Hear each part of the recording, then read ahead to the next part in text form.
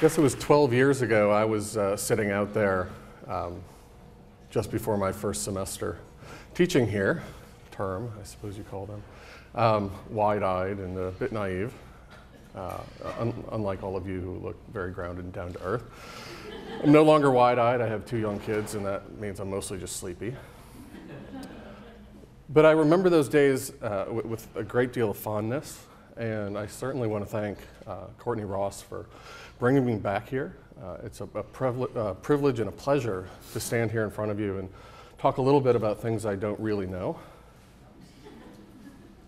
I also want to thank Bill and Ralph. I spent only a year here teaching, but uh, the time was formative for me. And the things I learned, uh, not only through, through their tuition, but also the help of um, all of my colleagues here at Ross, have really carried on into my own teaching. And it's something that's helped shape not only the way I approach anthropology, but the way I approach teaching and educating my students. With that in mind, I'd like to talk a little bit about human evolution and sustainability. And I've added this grandiose subheading from Homo sapiens to Homo sustinens. As the film told us, Homo sapiens means something on the order of, you know, a human who knows. We do know an awful lot. We need to transition to humans who sustain, or if we come up with a better word, maintain, persevere. We need to apply our knowledge not to ourselves, not just to our offspring, not to ensure the survival of our offspring, but our offspring's friends, relatives, colleagues. And in fact, the next generation and generations to come around the world. I didn't coin the phrase homo sustinens. Uh, an economist from Germany came up with this uh, several years ago, I think, thinking along the same lines that the direction we're headed is not a good direction. There is cause for an alarm. There's cause for rejoicing, and there's cause for appreciating the beauty like we saw in those paintings. That is our heritage. We also have a heritage of unsustainable behavior.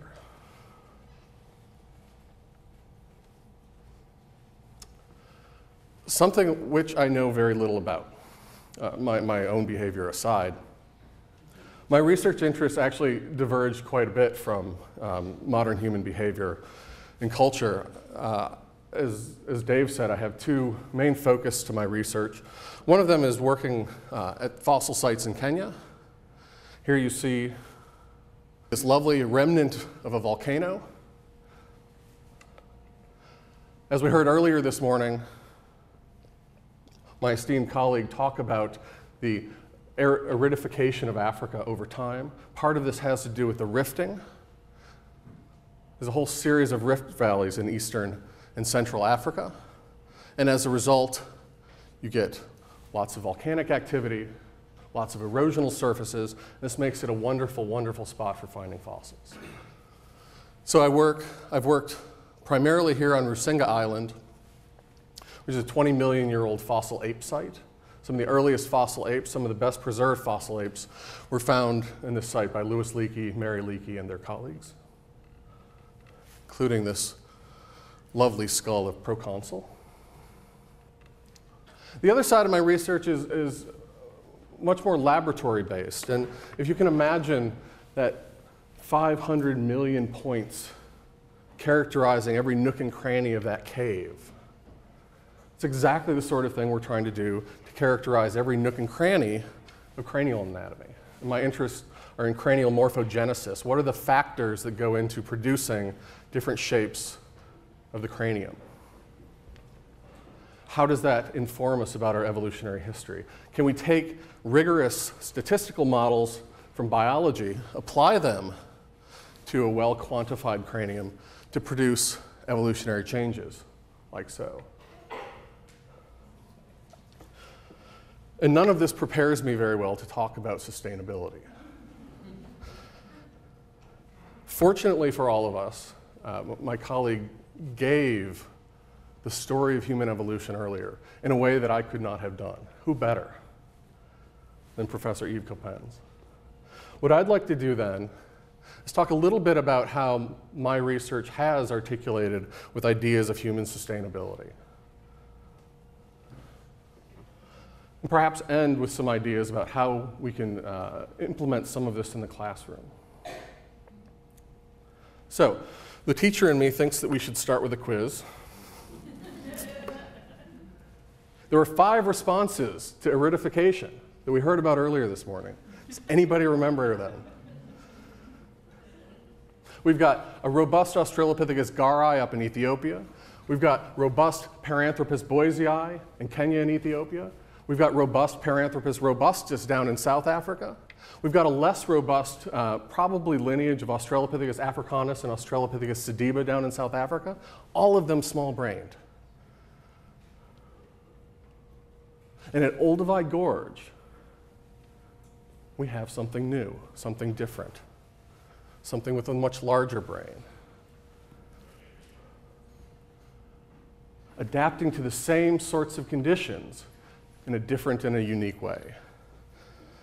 And it's through studying Olduvai Gorge that I first came into contact with, with ideas about sustainability and some of the problems therein. This is a picture here of Olduvai. You can see Lemagrut in the background, again, conducive to fossilization when you've got lots of volcanic ash spitting out all over the place. Laetoli is over off here outside the picture where we have the famous Australopithecus footprints. And if you excavate at Olduvai Gorge, you can find lots of cool things like this. A little hard to see, but a massive rhinoceros, a whole series of large bovids. And we can reconstruct the landscape to look like this. These reconstructions always sort of look uh, a bit, uh, bit ad hoc. Uh, you know, we found all of them here. Let's, let's put them all together. Fair enough. Probably more accurate than you think. Not that they all would have been there on the same day at the same time, although let's be honest, in the evening, everyone goes down to the water to drink. My colleagues and I were interested in trying to understand what sort of ecology would permit the evolution of a larger sized, larger brained hominin. There are lots of different ways to approach ecology, and the approach we were interested in was looking at the mammalian community. So if we look at the sorts of animals here that have been found at Olduvai, do they seem to represent a dense forest habitat? Do we see a lot of forest creatures? Is it more of an open woodland? Is it a, a super open savanna? So we can look at mammalian community structure to try to understand this environment that apparently allowed our ancestors to develop large brains. Without getting into the details of the analysis too much, what you're looking at is a multidimensional analysis of, of, of different paleoecological characters of the different fossil animals. So you start tallying up how many herbivores. Are they big herbivores? Are they small herbivores? How many are running on four legs? How many of them are climbing up in trees? All these ecological variables. And if you run an ordination like this, this is a correspondence analysis, what you find is that all of your forest communities cluster together on one side because their mammal communities are distinct. This is surprisingly easy to interpret, right? This is a minimal publishable unit. Right? Just publish it. Don't think about your data. If you think about your data, you run into trouble. People have been saying arid community at Olduvai before precisely for this reason. But if you actually look at the body mass profiles of all the fossils you find at Olduvai, what you find is something like this. I've got it divided up into two different beds. These are two different distinct layers. This is not uncommon. We find lots of big things because big, big things preserve well. We don't find many little things because either they don't preserve or, to be honest, some people just don't like picking up little things. But this is extraordinary. In lower bed two, we have one of the best small mammal faunas anywhere in East Africa. We also have quite a tremendous representation of large mammals. Now, we're going to compare these, as I just showed you from the ordination plot, we're going to compare these to all of these other community profiles, what you find is a modern forest profile looks like this. Modern woodland profile looks like this. A mosaic and an open habitat. Not one of them has the representation of large mammals that we see at Olduvai. Not one of them. Habitats sampled around the world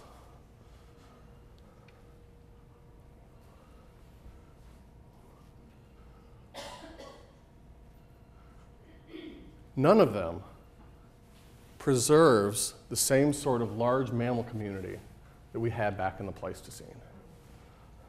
Now, I can account for that statistically. It's the only reason I'm on this project. Right? We can simulate that, we can do lots of uh, re replicates, and we can conclude that Olduvai is actually probably more wood wooded than we thought. That's not the point of my talk here. In fact, there no longer exists on this planet a mammalian community comparable to those inhabited by the earliest members of our genus. Nowhere in the world can I find a mammal community that I can actually make a reasonable statistical comparison. Now, we all know about Pleistocene megafaunal extinction, right? Lots of big things died out in the, the late Pleistocene. I knew about that. It never occurred to me that it happened to all of them everywhere. That it wasn't just places in North America that lost the rhinoceros or the aurochs. That it was a fundamental change in the mammalian communities around the world brought on at the end of the Pleistocene by factors we can argue about. And we do. This is what we do in paleoanthropology. Traditionally, this was because humans migrate to a place and they start to kill big things. This was long accepted as dogmatic. And as typically happens in science, when we have dogma, we eventually get people who need to argue against it. And so, on one hand, we have people arguing that as modern humans migrate around the world, as they get into Eurasia, eventually into Australia, as they come into the New World, they're killing off through hunting or through altering the landscape, through subsistence farming, farming or even pastoralism, somehow killing off all of the large mammals. Alternatively, people have been arguing that it's actually just a result of climate change that as we leave the Pleistocene and we put all of that glaciation behind us, until it comes back again, but we won't talk about that, as the temperatures and the climate changes around the world, these megafauna simply go extinct because they're losing their habitats. This is a current argument.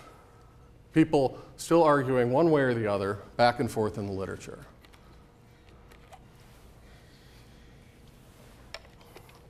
But I think we're now past the point where simple climate change is a reasonable explanation for large mammal extinction around the world. That we've gotten to the point where we're no longer arguing, did humans cause mammal extinction in the Pleistocene, but simply how much did they contribute? Was it only 50%? Was it more than 50%? I don't have time to get into the literature behind these debates, and it's quite substantial. But let me give you a few examples. Australia, here you're looking at fossil burial, actually deliberately buried. There are floral remains with this burial from Lake Mungo, dating perhaps 40 to 50,000 years old and a representation of some of the fascinating large vertebrates that lived there until just after humans arrived.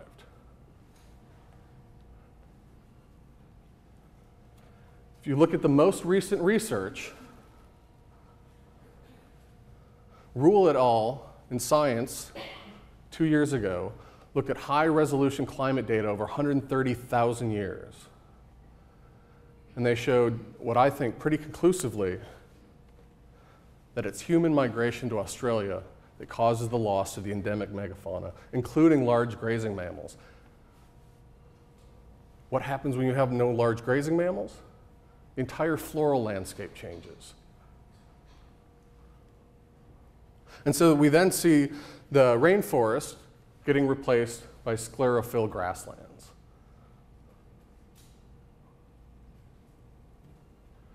Madagascar.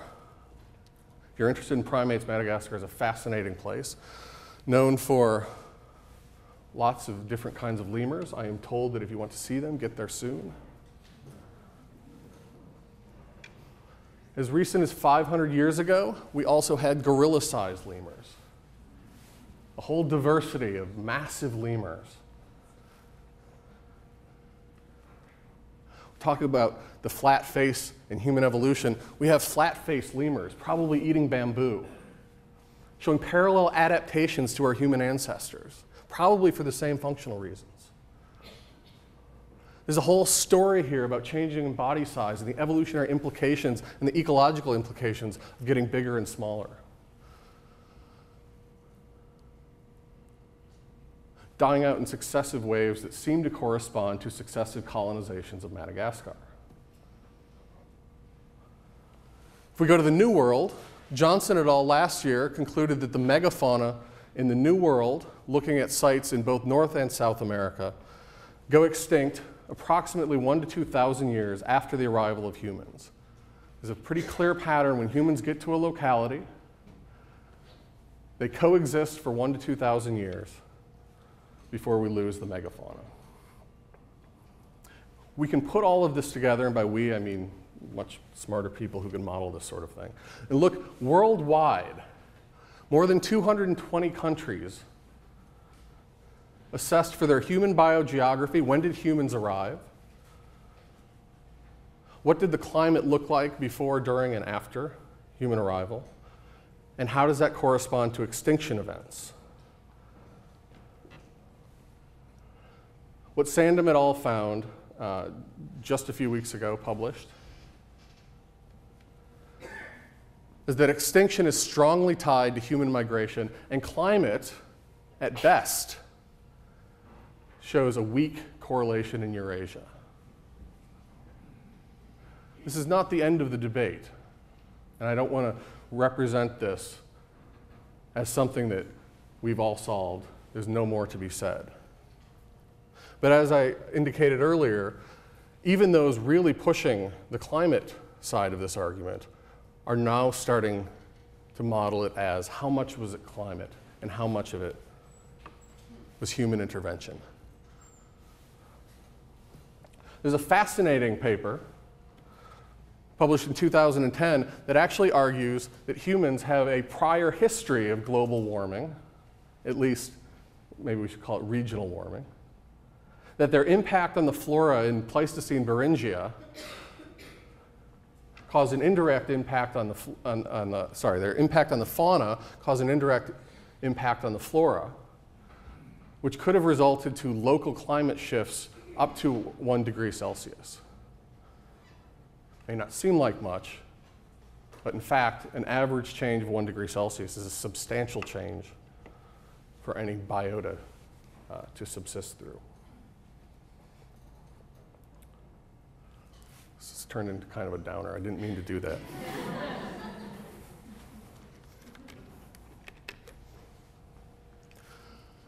As Mrs. Ross said uh, at the beginning of the day, there's no doubt that we can overcome this.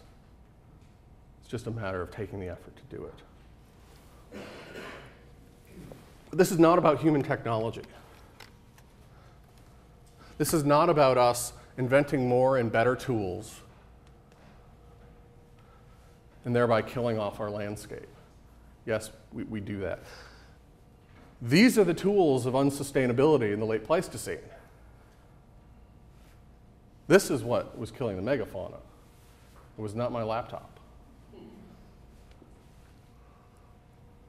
So we need to think not just about where are we headed, what, what, what directions that our culture is going are going to lead us out of or deeper into unsustainable behavior, we need to think what about humanity leads us to these sorts of behaviors?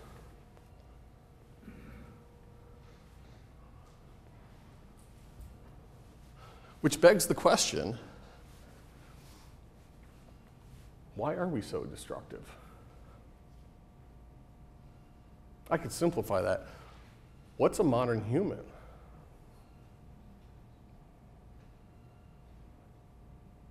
We got 12 grades here aimed at answering that question.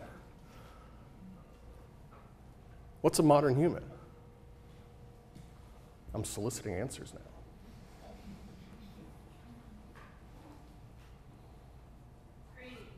Hmm? Greedy. Greedy.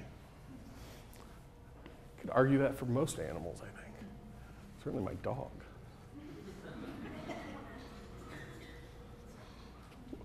We heard lots of examples this morning. A habitual biped, large brains. We have small canines. We're not very sexually dimorphic. Some more than others. We could put together a laundry list of these things.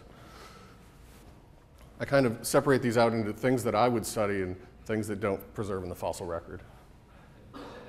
Lots of anatomical features that make us unique. I didn't include things like having a chin. I did include incredible amounts of sweat glands. We are a sweaty species.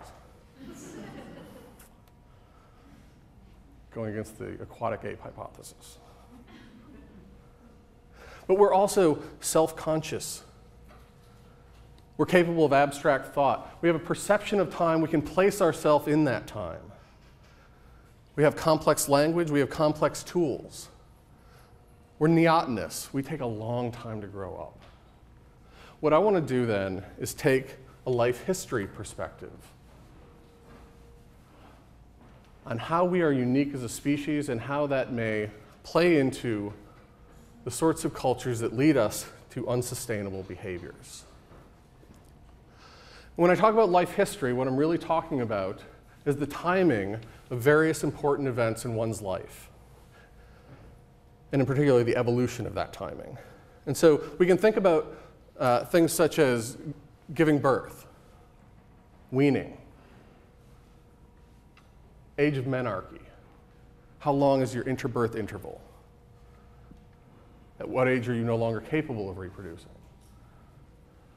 The timing of these events actually varies quite radically between us and our closest relatives. Perhaps it's something in our life history that leads to the sorts of culture we have, the incredible, beautiful things that we are capable of, as well as the darker side of those behaviors.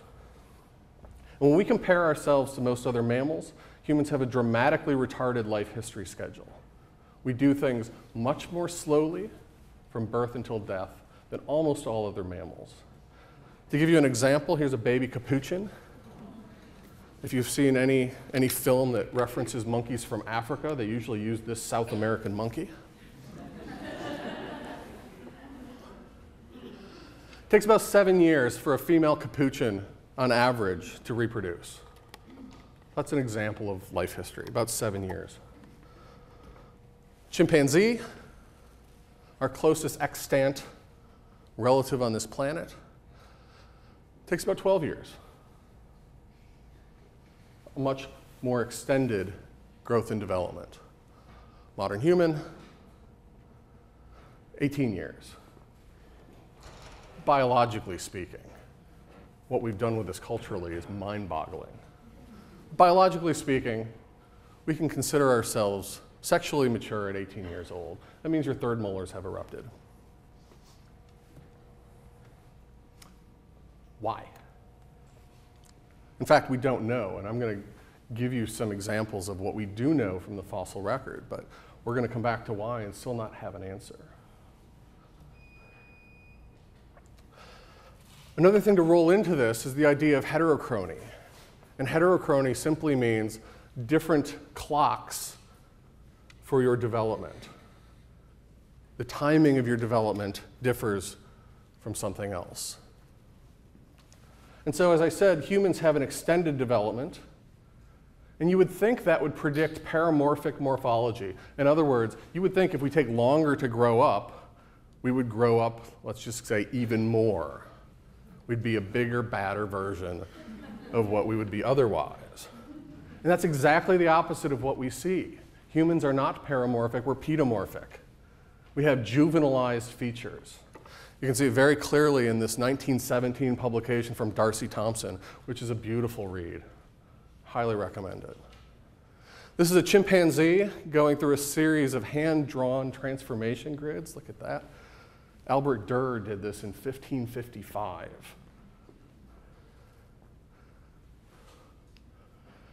What you see here, the chimpanzee in its juvenile stage looks remarkably like the human in its adult stage. We retain this juvenile, these juvenile characteristics.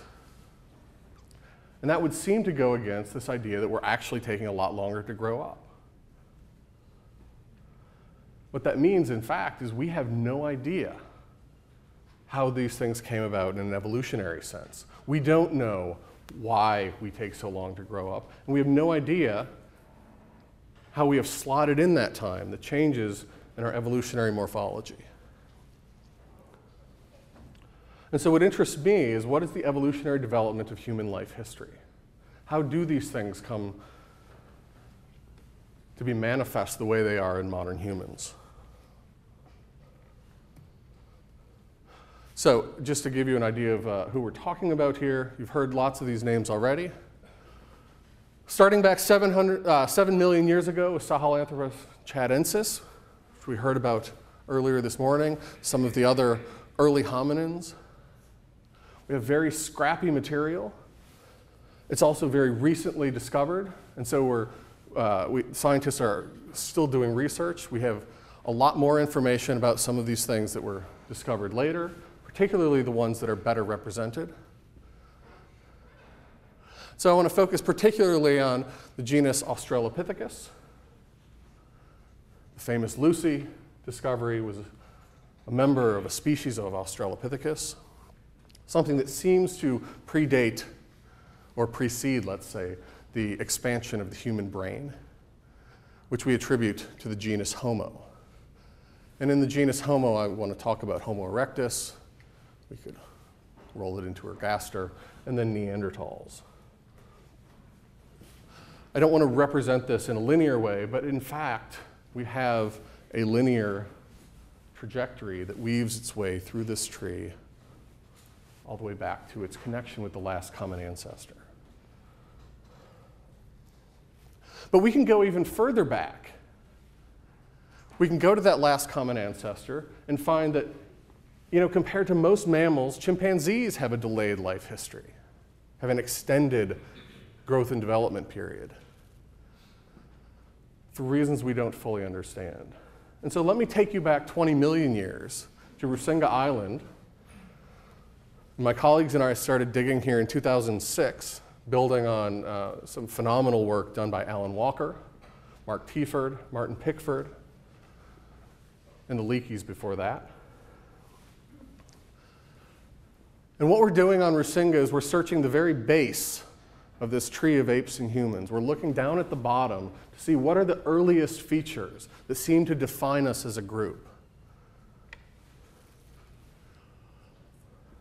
Back in the 80s, uh, Chris Dean from UCL was able to take one of these proconsul teeth, proconsul is the fossil ape we find here, take one of those teeth, section it histologically, and believe it or not, in teeth you can actually count enamel prisms like you would count tree rings and estimate the age of the individual when it died.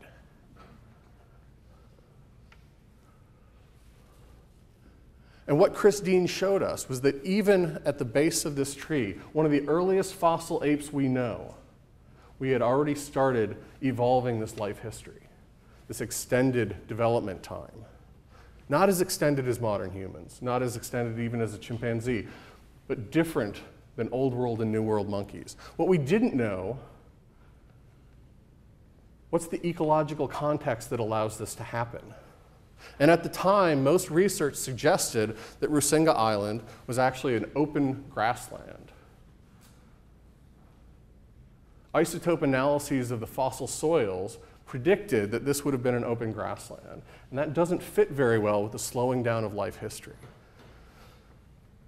In fact, the best models predict that slower life histories happen in very protected environments, more likely in a dense forest.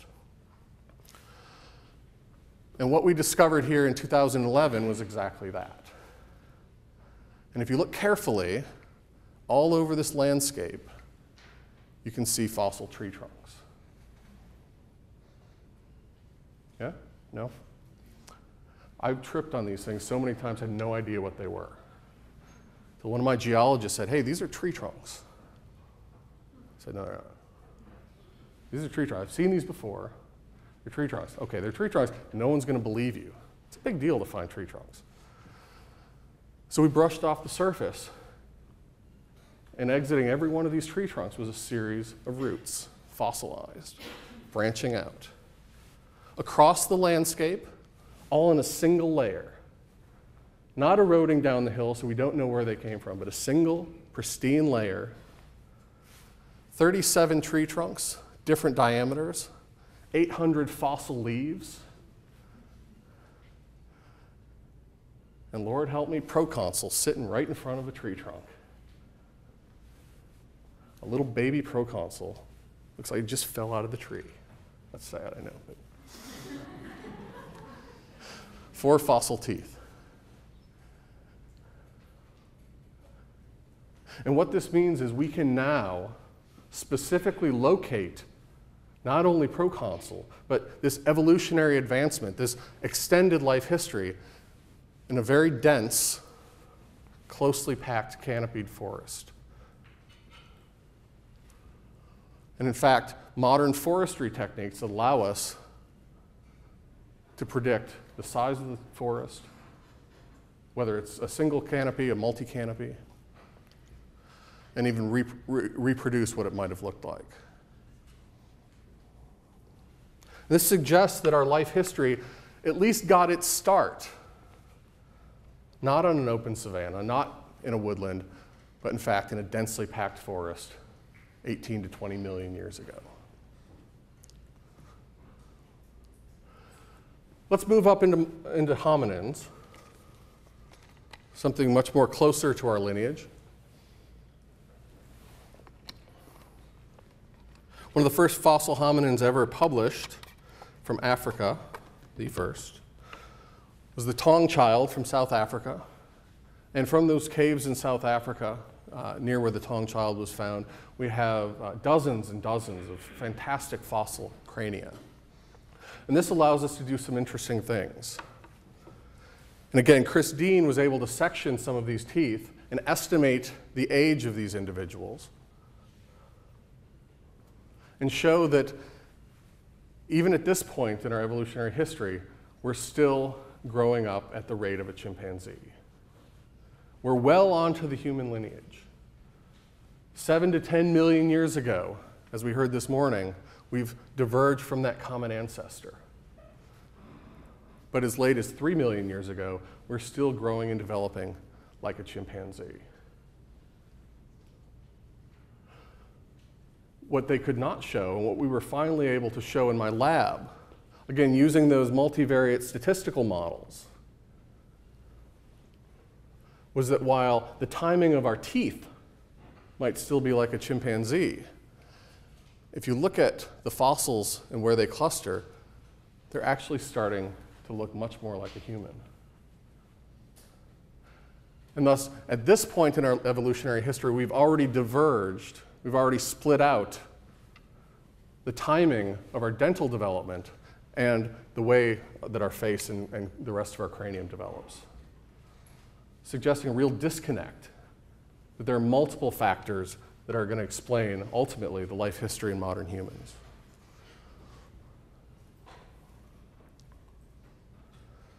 Homo erectus, here's something with a larger brain. We put it in the genus Homo for a reason much more like us than something like Australopithecus. But surprisingly, dental development still shows that it's growing up at the rate of a chimpanzee. We all thought that it was our large brains that required us to grow up so slowly. But the brain's getting bigger, and the timing's not changing. What did happen in Homo erectus is we started extending the lifespan at the other end. In Homo erectus, we start to find individuals who are well past their breeding age, male or female, who in fact have lost most of their teeth long enough that the bones started to resorb, like you see here,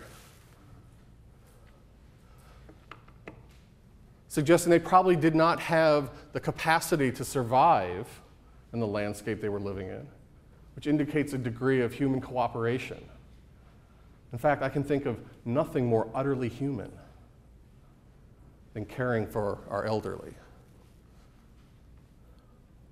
A man is a man when he's a man. We start to see this in Homo erectus. And what that means is that now you have not just mom caring for the offspring.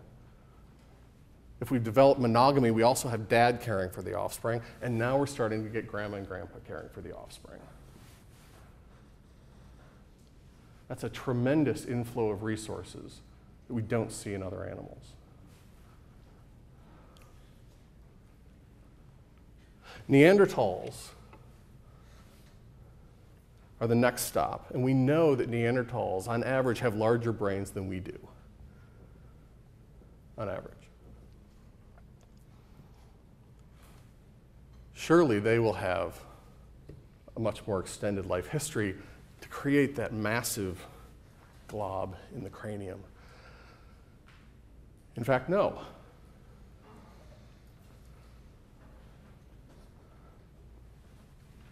This to me is one of the most astonishing things that has come out of our discipline in the last 10 years. Even the large brain Neanderthals are growing up quickly and dying fairly young. And that means that it's not simply having a large brain that requires us to extend our development. As we saw in the film, as we heard earlier this morning, we are not Neanderthals. We're something substantively, maybe even radically different. We could share genes with them, and that's something we still don't understand. How you share genes between something that takes 13 years to grow up versus 18 years to grow up. But we know it happened, some models aside. But they'd never, as far as we know, developed the sophistication, the culture that modern humans had long before we have the Neanderthals in the fossil record.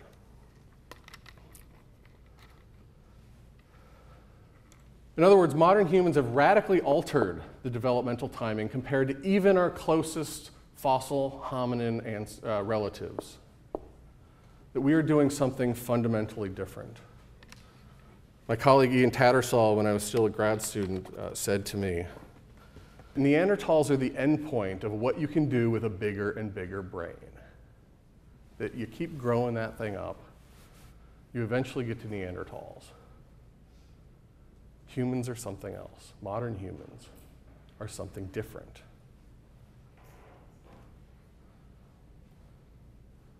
So, what does this have to do with sustainability? I'm not entirely sure, but I think that the Ross curriculum is a great place to explore that. As modern humans, we have millions of years of selection in our lineage favoring increased care for our offspring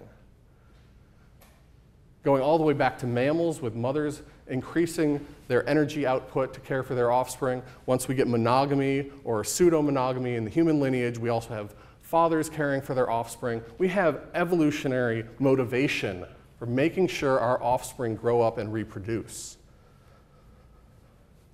Add to that in Homo erectus an elderly class, which means we have multiple generations contributing to the well being of those offspring, increasing their own fitness thereby. And suddenly, in modern humans, you have a radically slower life history, which means all of that input, all of those resources, all of that help continues longer and longer and longer.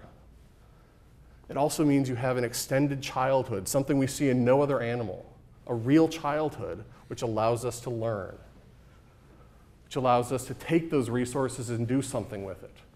Not just mimic our parents like a bird, but in fact, build on that, create from that. And it's this, I think, that facilitates the explosion and the evolution of human culture. But the implications of that we have an ongoing biological imperative to provide for our offspring, but we answer that in terms of cultural economies. We don't answer with our biology, we answer with our culture.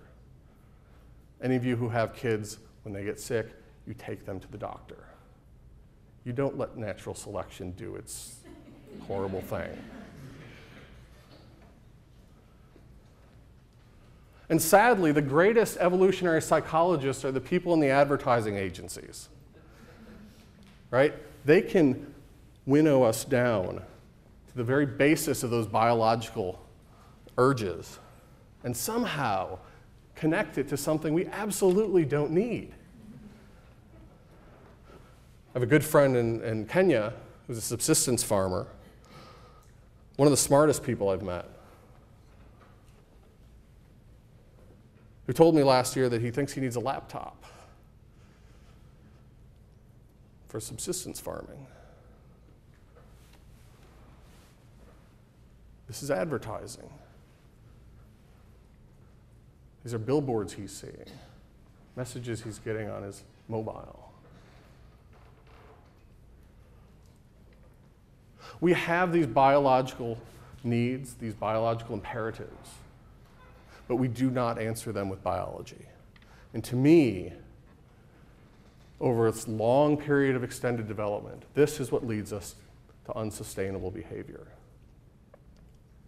Outcompeting our closest competitors, and let's be clear, our closest competitors are always in the same species because we share the same niche. Outcompeting our competitors turns into keeping up with the Joneses. We can see a simple example of this actually if you just look at uh, changes in birth rates versus death rates over time.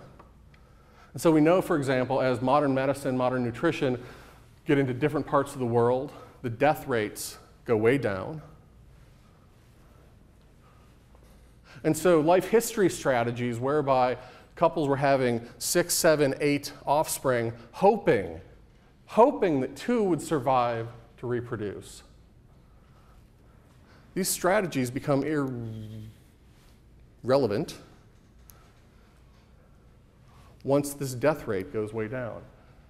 And yet, it keeps happening. The biological imperative, answered by the culture of medicine, puts us at a disconnect that then leads to massive population growth. And do you know what the single factor that brings this down is? The single factor. There is only one significant factor that explains why eventually the birth rate comes down. Any ideas? Economy. Close. Education. Education of women. women. The better we educate women, the closer we follow in our culture what biology is already doing. And thus, I actually believe that education can be, I'll put it in quotes, a speciation event, taking us from what we have become through the late Pleistocene into the Holocene, if we want to call it the Anthropocene, I don't like that, and turning us into something else something sustainable, something that will persist. When I think about education, it brings me, I always think about this scene from uh, one of the Chronicles of Narnia. I've got, I'm reading these to my kids. I'd forgotten this. There's a scene where, uh, most of you know Narnia. If you don't, Kids from this world that go to a fantasy world. It's Narnia, it's great. There's a scene in The Magician's Nephew where they're talking about the creation of Narnia, the very beginning. I won't get into all of the details, but things are sprouting out from everywhere. And it turns out anything you plant will grow. A piece of an iron lantern thrown into the ground turns into an iron lantern tree. A piece of toffee, candy, turns into a toffee candy tree. We find out later that this is only good for a few days.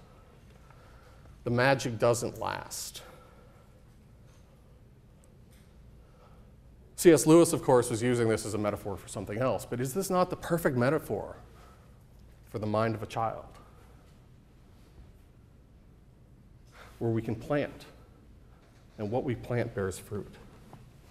Not forever, but we have a window of time where we can actually affect change. Let me talk about a couple difficulties. There's lots.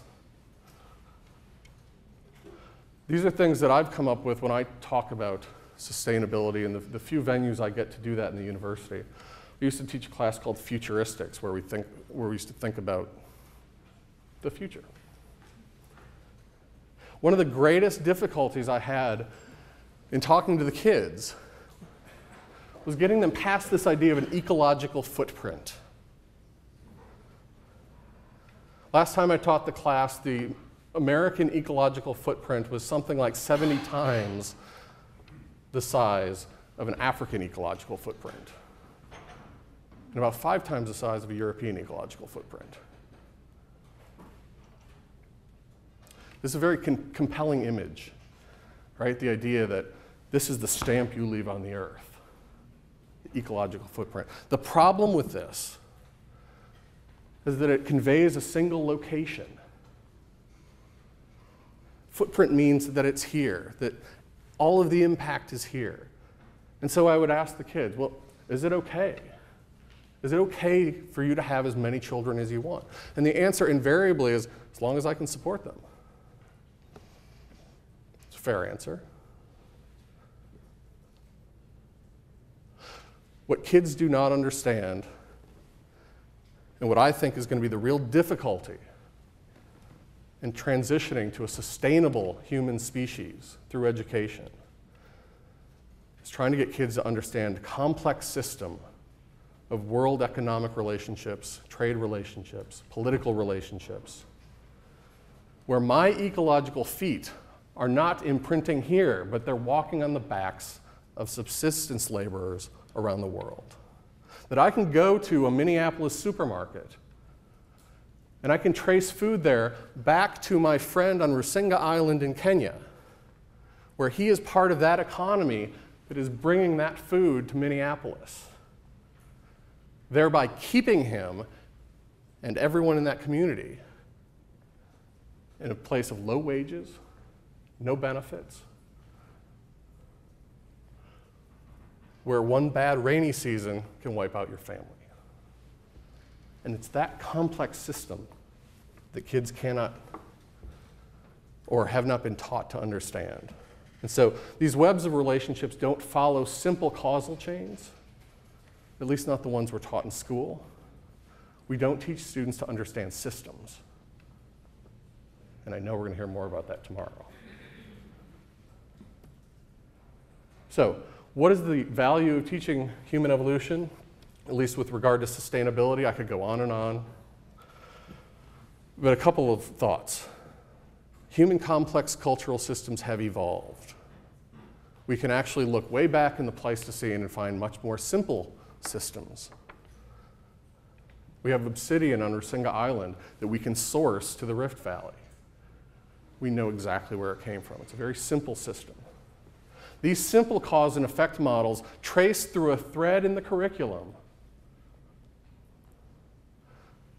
can then be broadened out into complex system in a way that I think kids can grasp. That if we show not just complexity, but the evolution of complexity, that we can really hit home how the world is interconnected.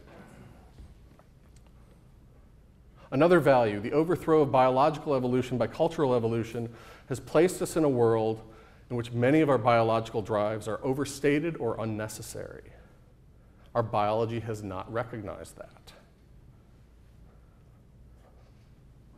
We still act and react to the imperatives shaped over millions of years. And if we explain these concepts as part of a curriculum that talks about the evolution of humans, then we can much better understand the motivations in our own lives, in our societies, and in our world culture. And finally, as I've shown you, we can look at human impact prehistorically. We can show the Atlatl and the Levallois tool points and say, look what they could do with that. Imagine what we can do now. That's a picture we can paint.